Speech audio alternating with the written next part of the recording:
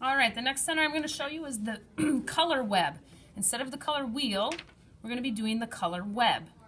And on each tip of each of the webs, we're going to glue an insect of a certain color.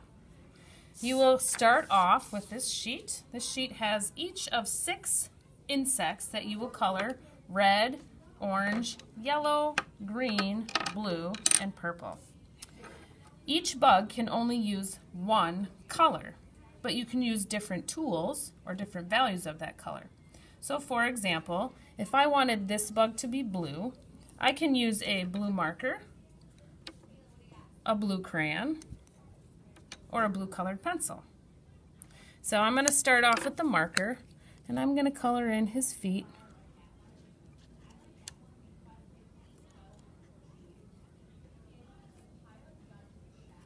All right, then I'm going to use the colored pencil and I'm going to color part of the head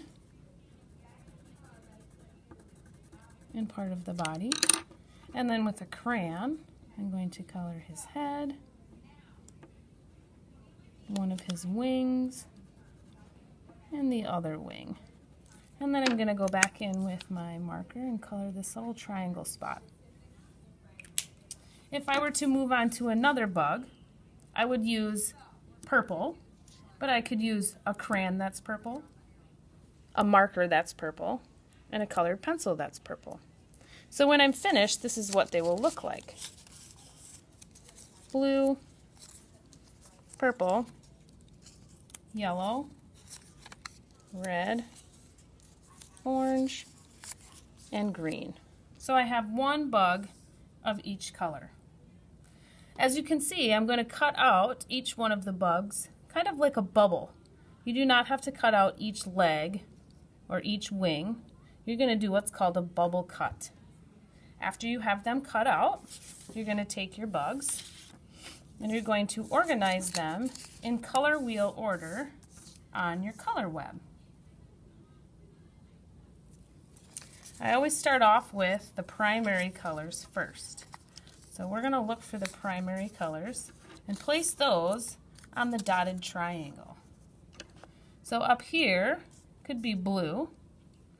On this corner of the dotted triangle, we can place red. And on this corner of the dotted triangle, we can place yellow.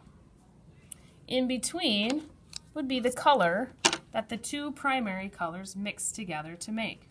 Blue and red would make purple, so I would place the purple butterfly there. Red and yellow mixed together to make orange, so I would place the orange bug here.